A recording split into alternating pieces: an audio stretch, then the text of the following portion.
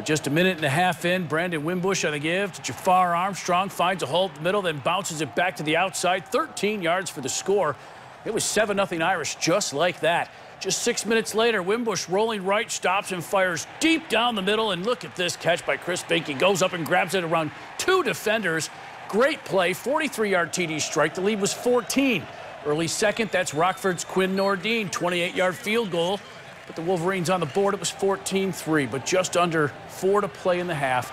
Armstrong again around the far corner and in this time from four yards out. It was 21-3 Notre Dame, but not for long. Ensuing kickoff, Ambry Thomas breaks out of the pack. Watch him pop out, then cut back, and Thomas zippy 99 yards to the end zone.